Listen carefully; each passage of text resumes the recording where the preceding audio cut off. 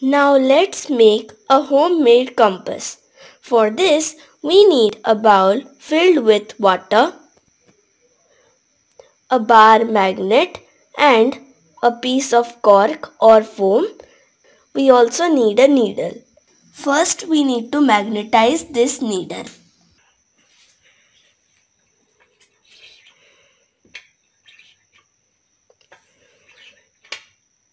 We need to do this for some time.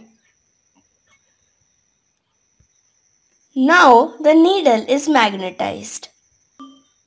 To check if the needle is really magnetized, we need to take it near some iron fillings.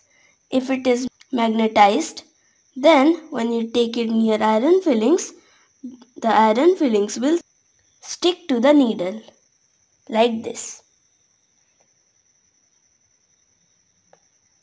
Now we need to take a piece of cork or foam and insert this magnetized needle into this foam.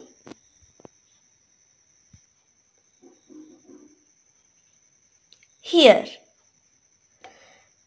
Now the last step.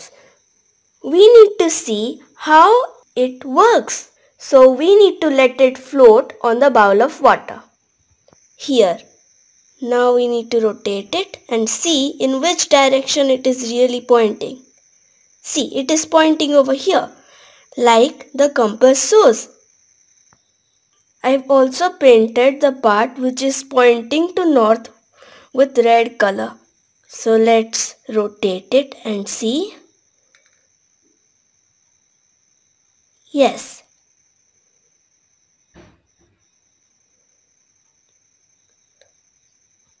So now we know how to make homemade compass. Thank you.